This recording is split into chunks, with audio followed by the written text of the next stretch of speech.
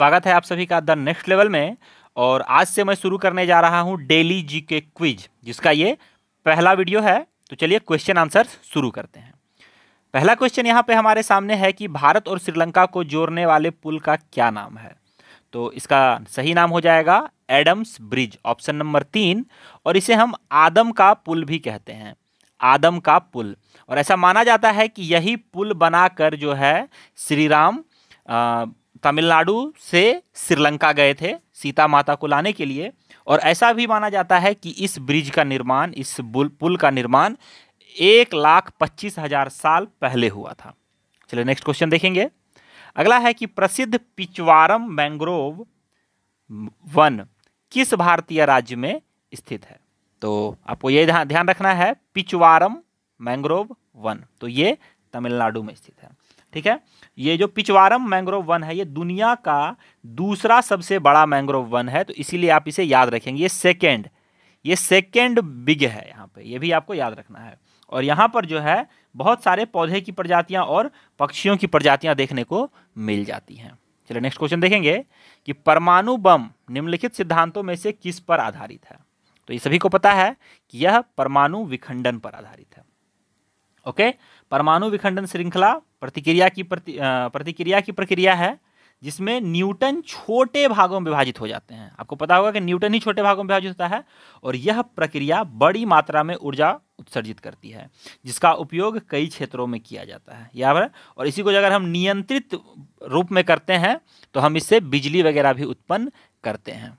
चलिए next question देखेंगे कि मानव संसाधन विकास मंत्रालय ने विज्ञान परियोजनाओं की फंडिंग के लिए स्टार्स योजना शुरू की है। तो इसमें ए का क्या अर्थ है? तो इसमें जो है ए का अर्थ हो जाएगा एडवांस्ड ए का अर्थ क्या हो जाएगा? एडवांस्ड ओके तो देखिए, मैं इसको आपको पूरा फुल फॉर्म बता देता हूँ। इसका पूरा फुल फॉर्म क्या है? स्कीम फॉर एस से scheme for translation and advance research in science ठीक है? फिर से मैं बता देता हूँ। Scheme for translation and advance research in science stars okay चलिए नेक्स्ट क्वेश्चन देखते हैं. प्राचीन भारत में लोगों को कितने वर्गों में विभाजित किया गया था? तो सभी को पता है कि चार वर्णों में विभाजित किया गया था। कौन कौन से थे? क्षत्रिय, वैश्य, ब्राह्मण, शूद्र और क्या माना जाता है इसमें? कि जे, कि ब्रह्मा जी के शरीर के विभिन्न अंगों से इनका जन्म हुआ है, जैसे कि मैं आपको ये ब्रह्मा जी में बना देता हूँ। ठीक है? तो ये देखो तो ये ब्रह्मा जी का सिर है, मुख है तो इससे ब्राह्मण निकले थे। ठीक है? हाथों से निकले थे क्षत्रिय, पेट से निकला था जो वैश्य है, और पैरों से निकले थे शूद्र। ये आपको याद रखना है। चलिए, अगला क्वेश्चन देखते हैं। नेक्स्ट है कि निम्नलिखित में से किसे भारत के सत्ताईसवें राज्य के रूप में शामिल किया गया था? भारत में अभी टोटल उनतीस राज्य हैं। सत्ताईसवें राज्य के रूप में किसे शामिल किया गया था? तो सत्ताईसवें राज्य के रूप में उत्तराखंड आया था। देखिए, झारखंड अट्ठाईसवां राज्य है, उत्तराखंड सत्ताईसवां राज्य है और छत्तीसगढ़ जो है वो छब्बीसवां राज्य है और गोवा जो है ये पच्चीसवां राज्य है। ठीक है? और उनतीसवां राज्य है तेलंगाना। और ये तीनों ही राज्य जो है, ये 2000 में बने थे। ठीक है? छत्तीसगढ़ 26 उत्तराखंड सत्ताईस, झारखंड 28 तेलंगाना 29 और गोवा को मैंने बताया 25 चलिए अगला क्वेश्चन देखेंगे कि इंग्लिश चैनल तैर कर पार करने वाली भारतीय महिला कौन है? तो ये क्या है? इनका नाम है आरती साहा। आरती साहा। चलिए नेक्स्ट क्वेश्चन देखते हैं। अगला है कि भारत में राष्ट्रीय मतदाता दिवस कब मनाया जाता है? भारत में राष्ट्रीय मतदाता दिवस कब मनाया जाता है? अभी मतदान चल रहे हैं तो राष्ट्रीय मतदाता दिवस 25 जनवरी को प्रतिवर्ष मनाया जाता है। ठीक है? ये जो है नेशनल वोटर्स डे, इंग्लिश में इसे कहते हैं, ये 25 जनवरी 1950 को स्थापित इसका किया गया था और तभी से ये मनाया जा रहा है। दोस्तों, इस, ये जो मैं वीडियो सीरीज़ आपके सामने ला रहा हूँ तो इसमें कितने क्वेश्चन होने चाहिए? मैं तो यहाँ पे 25 क्वेश्चन लेके आ रहा हूँ। तो यहाँ पर कितने क्वेश्चन होने चाहिए? ये भी आप मुझे कमेंट कर सकते हैं। मैं 25 लाऊं या 30 लाऊं या और भी कम लाऊं या और भी ज़्यादा लाऊं तो ये मुझे आप कह सकते हैं। और आप मुझे इसमें टॉपिक भी सजेस्ट कर सकते हैं कि मुझे किन किन टॉपिक्स पे वीडियोज़ लाने चाहिए। अगला क्वेश्चन देखेंगे कि आमतौर पर भारी जल का उपयोग ज़्यादातर किसमें किया जाता है? तो इसका जो सही आंसर हो जाएगा, वो हो जाएगा परमाणु रिएक्टर में और कपड़ा धोने के साबुन में, यानी कि ये भी सही, ये भी सही, यानी कि ऑप्शन नंबर चार सही, कि दो और तीन दोनों। ठीक है? देखिए, परमाणु रिएक्टर में भारी जल का जो एक उपयोग होता है, ये मंदक के रूप में होता है। ठीक है? परमाणु, ये सॉरी मैंने आपको गलती बता दिया। ये, देखिए अग्निशामक में और परमाणु रिएक्टर में, चार, एक और दो दोनों, मुझे ये लगा, मैंने पढ़ा नहीं था ठीक से सॉरी ठीक है? तो ये दोनों इसका सही आंसर हो जाएगा। और देखिए, परमाणु रिएक्टर में जो भारी जल का हम उपयोग करते हैं, एक मंदक के रूप में करते हैं, ठीक है? और यहीं पे क्या है कि मंदक के रूप में करते हैं, यानी कि न्यूट्रॉनों को ये कंट्रोल कर देता है ज़्यादा विखंडित ना हो जाए, क्योंकि ज़्यादा विखंडित हो जाएगा तो वो क्या हो जाएगा विस्फोट होगा, जिससे हम, जैसे परमाणु बम फटता है, वैसा स्थिति होगा। तो इसीलिए हम क्या करते हैं, भारी जल का प्रयोग जो कि न्यूट्रॉन्स को कंट्रोल में रखता है। अगला क्वेश्चन देखते हैं कि निम्नलिखित पारिस्थितिकी तंत्र में किसका जैव ईंधन सबसे उच्च है? तो इसका सही आंसर हो जाएगा वन पारिस्थितिकी तंत्र। वन पारिस्थितिकी तंत्र का जो है जैव ईंधन सबसे उच्च माना जाता है। अगला प्रश्न, कि एक ईंधन का पूरा दहन कौन सी गैस उत्पन्न करता है? ये अधूरा है, पूरा नहीं अधूरा। अगर एक ईंधन है, ये जल रहा है और ये पूरा नहीं जला तो ये कौन सी गैस उत्पन्न करेगा? तो ये जो है, करता है कार्बन मोनोऑक्साइड कार्बन मोनोऑक्साइड। जब भी कुछ जल रहा हो तो कार्बन डाइऑक्साइड तो उत्पन्न होता ही है, ठीक है? लेकिन अगर कुछ जलते हुए हम बीच में इस तरह से बुता दें इसे तो एक बहुत ही रंगहीन, गंधहीन एक गैस उत्पन्न होती है इसका कोई रंग नहीं होता है, गंध नहीं होता है, लेकिन ये बहुत ही जहरीली होती है। अगला क्वेश्चन देखते हैं हम। बिहार के मधुबनी चित्रकला को क्या कहा जाता है? ये क्वेश्चन जो है आपके ग्रुप डी का पूछा हुआ क्वेश्चन है, ठीक है? तो मैं यहाँ पे ज़्यादातर क्वेश्चन आपके एग्ज़ाम के पूछे हुए ही क्वेश्चन है। तो मधुबनी चित्रकला जो है, ये भी बहुत चर्चा में चल रहा है, ये मिथिला चित्रकला से संबंधित है, ओके? ये मिथिला मिथिला चित्रकला से संबंधित है। अगला प्रश्न देखते हैं। कि वर्तमान में भारत के केंद्रीय कृषि मंत्री कौन है? देखिए, अभी तो इलेक्शंस चल रहे हैं तो इलेक्शन के बाद उम्मीद है कि आपको ये क्वेश्चन का आंसर बदल जाए, लेकिन अभी आपको ध्यान रखना है। अभी जो है, केंद्रीय कृषि मंत्री हैं राधा मोहन सिंह, राधा मोहन सिंह। नजमा हेप्तुल्ला जो है, ये मणिपुर की गवर्नर हैं, ठीक है? ये आपको याद रखना है, पहले पहले ये अल्पसंख्यक मामले में थी। सुरेश प्रभु कॉमर्स मिनिस्टर हैं, वाणिज्य मंत्रालय, और अरुण जेटली तो सभी को पता है कि ये फिनांस मिनिस्टर हैं, वित्त मंत्री। अगला क्वेश्चन है कि धनवंतरी पुरस्कार किस क्षेत्र में दिया जाता है? धनवंतरी पुरस्कार किस क्षेत्र में दिया जाता है? तो धनवंतरी पुरस्कार चिकित्सा के क्षेत्र में दिया जाता है। और ये जो है, ये आपको आखिरी बार 2017 में दिया गया था। यानी कि 2017 से अभी तक किसी को दिया नहीं गया है और ये इसके आखिरी में विजेता थे डॉक्टर नागेश्वर रेड्डी। चलिए नेक्स्ट क्वेश्चन देखते हैं कि एन्फ्लुएंजा किसके कारण होने वाला रोग है? एन्फ्लुएंजा किसके कारण होने वाला रोग है? तो एन्फ्लुएंजा वायरस के वजह से होता है। एन्फ्लुएंजा जो है, ये वायरस के वजह से होता है। वहीं जीवाणु के कारण से आपको टीबी हो जाता है। आपको पता ही होगा टीबी और यहाँ पे जो आप कवक देख पा रहे हैं, इससे आपको जो शरीर में फफूंदीय संक्रमण होता है वो, और प्रोटोजोआ से मलेरिया होता है। याद रखेंगे मलेरिया बहुत से लोग मलेरिया में कंफ्यूज रहते हैं, इसीलिए मैं यहाँ पे बता दे रहा हूँ। बाकी दाद खाज खुजली जो होता है, वो कवक के कारण होता है। चलिए नेक्स्ट क्वेश्चन देखते हैं। कि ग्लोबल विंड शिखर सम्मेलन 2018 के पहले संस्करण की मेजबानी किस शहर ने की? तो ये पहली बार 2018 में हुआ था तो इसकी मेजबानी जो है, हैमबर्ग ने किया था। ठीक है? देखिए, ये जो ग्लोबल विंड शिखर सम्मेलन है, इसका पहला संस्करण जो है, ये 25 से 28 सितंबर के बीच में, यानी कि 2018 के 25 से 27 सितंबर के बीच में जर्मनी के हैमबर्ग में किया गया।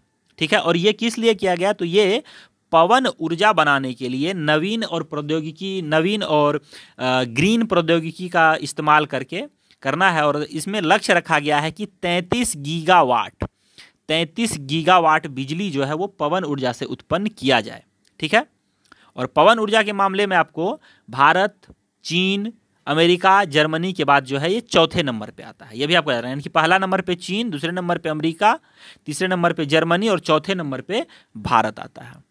नेक्स्ट क्वेश्चन देखते हैं कि किसे वायुमंडल में द्वितीयक प्रदूषक के रूप में जाना जाता है। द्वितीयक प्रदूषक, यानी कि सेकेंड नंबर का प्रदूषक किसे जाना जाता है? तो ओजोन को।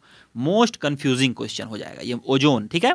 तो ये आपको ध्यान रखना है ओजोन को द्वितीय प्रदूषक का उदाहरण है, क्योंकि यह तब बनता है जब हाइड्रोकार्बन और नाइट्रोजन ऑक्साइड सूरज की रोशनी की उपस्थिति में संयोजित होते हैं। यानी कि जब हाइड्रोकार्बन और नाइट्रोजन ऑक्साइड सूरज की रोशनी में एक होते हैं तो ओजोन बनता है। और पहला, जैसे कि ये तो द्वितीयक हो गया, लेकिन पहला प्रदूषक कौन है? तो कार्बन मोनोऑक्साइड याद रखेंगे आप कार्बन मोनोऑक्साइड पहला प्रदूषक है। अगला क्वेश्चन देखते हैं कि मांग के नियम के अनुसार यदि कीमत बढ़ती है तो मांग क्या होती है? तो कीमत बढ़ेगी तो मांग घटेगी। ऑप्शन नंबर एक। नेक्स्ट क्वेश्चन देखते हैं। ग्रामीण भारत में कौन सी बेरोजगारी बहुतायत रूप में पाई जाती है? तो ग्रामीण में कौन सी बेरोजगारी पाई जाती है? तो देखिए, वहाँ पे दो तरह की बेरोजगारी पाई जाती है। मौसमी बेरोजगारी और प्रछन्न बेरोजगारी, यानी कि ऑप्शन नंबर तीन जो है ये सही हो जाएगा। देखिए, मैं मौसमी बेरोजगारी और प्रछन्न बेरोजगारी दोनों को डिटेल थोड़ा कर देता हूँ।